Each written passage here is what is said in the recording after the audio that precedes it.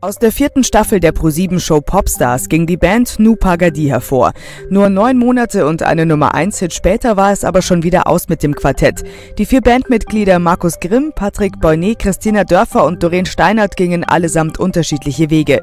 Doreen, die als erstes Mitglied die Band verließ, versucht sich seit mehreren Jahren als Solokünstlerin. Der große Erfolg blieb bisher jedoch aus. Die Sängerin hielt sich nach dem Band aus am längsten in der Öffentlichkeit, auch durch ihre sieben Jahre lange Beziehung zu Rapper Rapazido.